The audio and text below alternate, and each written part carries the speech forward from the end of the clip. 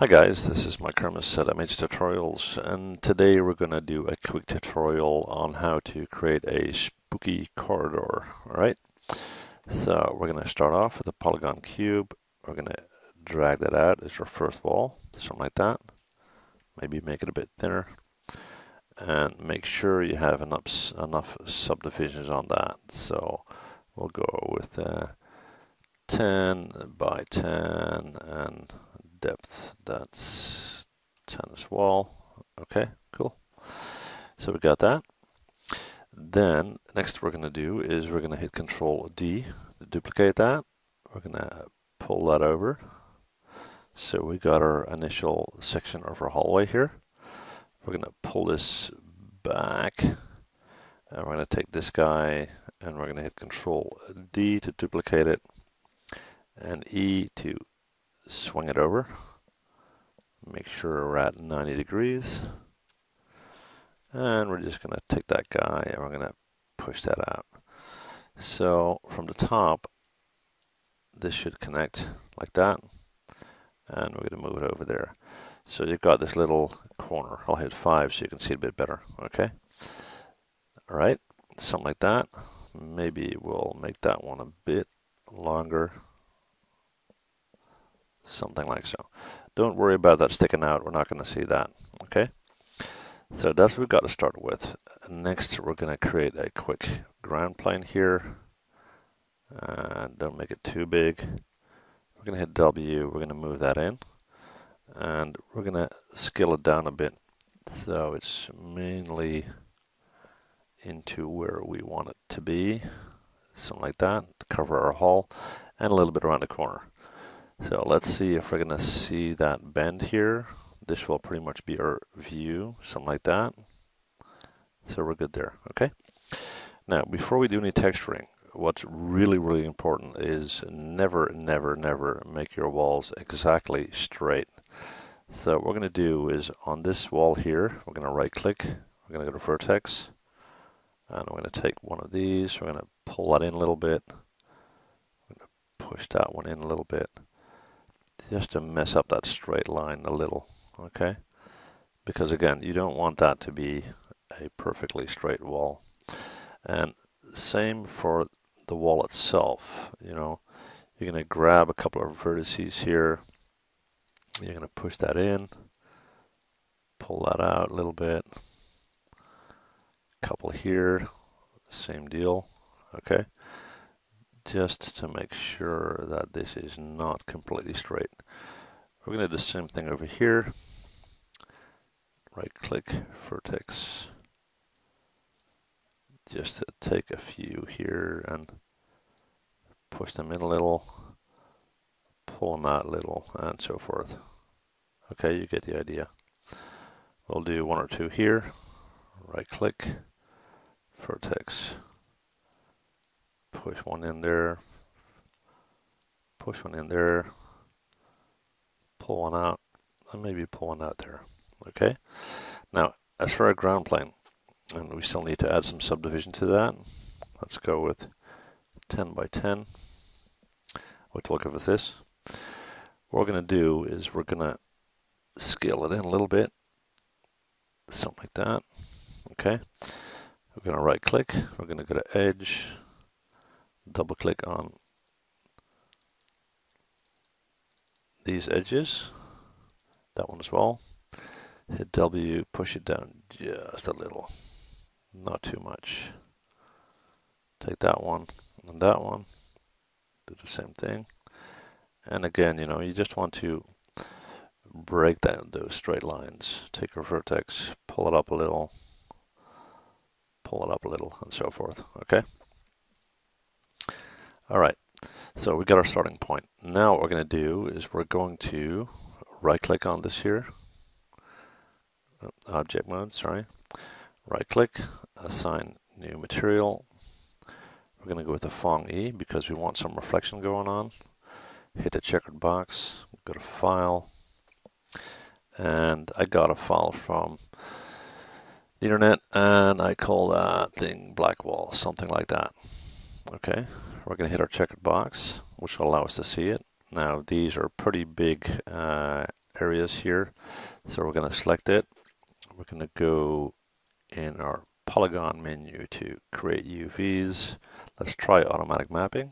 Okay. Go to edit UV, UV texture editor, and we're going to right click UV, drag select, and we're going to start to scale that out actually. Okay. Now as you can see, uh, it's maybe hard to see, the stones are like that, so I want to flip that over. So I'm going to hit E to rotate that. And you're going to get a couple of UV repeats here, but because it's going to be a fairly dark scene, we're not going to notice that too much. So just make sure you got nice small stones, okay? Something like that. We're going to minimize this one here. We're going to take that guy, right click, object mode, pretty much repeat the same process, assign new material, Phong E, checkered box, file. I'm going to get my same file here, which was called black wall. Okay, and again, you can see they're pretty big. Create UVs, go to automatic mapping, edit UV, UV texture editor, right click, UVs, drag select. We're going to hit R and we're going to scale that out, out, out, out, out. Oh, sorry, got the wrong one. R, there we go. As you can see, they're getting much, much smaller. We're going to hit E, we're going to flip that over. Okay, so as a starting point, not bad. All right, we're going to do that once more. Right click, object mode, assign the material. I'm just going to speed this up a little bit. Okay, so Phong E. We're going to go to File. We're going to select our black wall file. There we go. Here you can see it a bit better. Okay. Create UVs, automatic mapping, edit UVs, UV texture editor. We're going to drag select this UV, drag select, scale that out, hit E to flip it over, pretty much something like that, okay? So that's what we got so far. All right, now for our floor plan here, right click, assign new material, Phong E, let's get rid of that here. I got a different file for that, so select file, and I think that thing was called cobblestone. And this is blue but it doesn't really matter and I'll show you in a bit why. So these are obviously way too big. So right click object mode select that guy create UVs automatic mapping edit UVs UV texture editor. As you can see we're pretty much repeating the process. Okay we're going to hit R and we're going to scale that out until they're nice and small. And again, you know, you're repeating the UVs somewhat, but that's okay. So we got all that. All right. Minimize that. Okay. Now, here, here, and here, I want some bump mapping going on. So, sorry, right click, object mode, object mode, object mode. We're going to go to our Phong material we're going to go down to bump mapping, file, click on this black thingy here, go to the folder, and we're going to select our black wall for the bump map. And for the floor plan here, in the bump mapping section, we're going to go to file, and we're going to select that same file again. So that is the cobblestone file that I got. All right. So that's our bump map. Now we're going to quickly set up some lights. So create lights. Point light. I want one to be about somewhere like here. And control D. I want one in my corridor around the corner here. Okay. We're going to select both. Now we're going to go to shadows, use depth map shadows. All right. Now, if we do a quick render, it's going to look a bit off because we've got the blue street and so forth. We don't even have a ceiling, but we'll just quickly hit render. Okay, this doesn't look too great right now. Okay, so and actually I can see that the bump map here took and these didn't, so just have to fix that. So I got that one. And I'll just quickly go through that process, guys. There we go. That's one. I'll do the same here. Bump mapping, file. Uh, where is it? Black wall. There we go. Okay. This should already look a bit better. Yeah. So we've got a bump mapping going on. In itself, it's not terrible, but and again, it's it's pretty low quality, but it will make it suitable for you know games and so forth. So now we're going to tweak it a bit. Okay, we're going to minimize this. We're going to take that light here, and we're going to change the color of the light. So up here in the uh, color section, we're going to click on the color, and we're going to make that nice and red, and make that even fairly dark red, something like that. Okay. And then another color that always works great with kind of spooky setup, so to speak, is green. So we're going to select that one, hit the color, go to green, and I'm going to make that fairly dark.